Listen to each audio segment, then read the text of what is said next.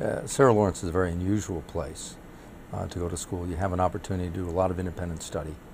Um, I focused initially on classical, uh, classical philosophy, anthropology, and toward the end of my uh, toward the end of my sophomore year, I decided that I should take one course in science, and I decided that that course would be inorganic chemistry, so I could understand how things work. Why is the sky blue? How do you make antifreeze? What is the boiling point of water, all these things which I considered part of a classical education. And I became so intrigued uh, by one of my professors there uh, that I decided to go deeper. And before I knew what was happening, I was studying biology and physics, and I'd shifted my emphasis uh, to the point where I began to look at the, the possibility of doing work in medicine. And that's one of the remarkable things about the place, is that you have a lot of flexibility. I took filmmaking, I took theater, all of which has been very useful uh, in, in developing ways in which you can present scientific information and make it more accessible.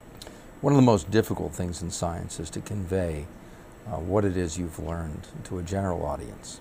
And Sarah Lawrence taught me how to speak in simple sentences, how to use graphics, how to present information in a way that makes it accessible and understandable to a wide range of people. Additionally, there's a focus on creativity. And uh, in science, we have people who focus on what we call data gathering, collecting large amounts of information, and there are others who really try to break paradigms. This is another advantage, I think, to a, a liberal arts education like the one you get at Sarah Lawrence. You learn how to approach things from a variety of different vantage points and uh, get to places you wouldn't otherwise go. If you really want an education, you want to be able to uh, enrich your life not only in the next four years, but in the years that follow. Sarah Lawrence is an ideal place.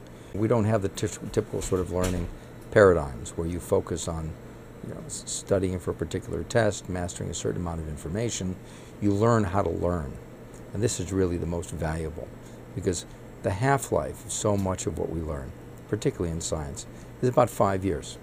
So unless, unless you're committed to continual learning and to that process, uh, you're going to be left behind very rapidly. And this is a world which is evolving rapidly, socially, culturally, scientifically, economically, and it's important to be light on your feet.